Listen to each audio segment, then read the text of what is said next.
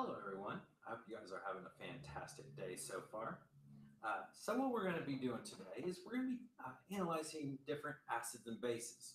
So, yesterday, what we did was we uh, we used a little pH meter, right? Uh, and today we're going to be talking about an indicator. Okay. Now, an indicator is not as accurate as a pH meter. Okay. So, we're going to do a little virtual lab today, and your virtual lab will look like, hopefully you guys be able to see my screen here in a second.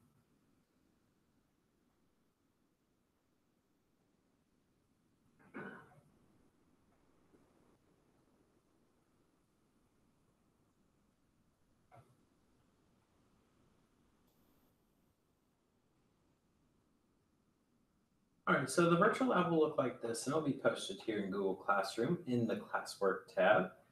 What you're going to do is you're going to read the directions, all right? Read the procedure, all right? And then once you do all the ones, especially number five, click the reset button to test a new set of solutions. Continue hitting the rest reset button until all substances listed in the table have been tested. So the test you're actually going to run is on this website. All right, so you're going to visit the Glencoe website. Okay. And it pulls up this. So number one says soft drinks.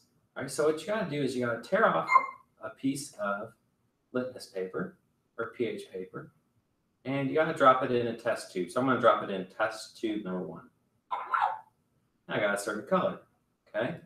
So I'm going to see, does what color does this match up with the most?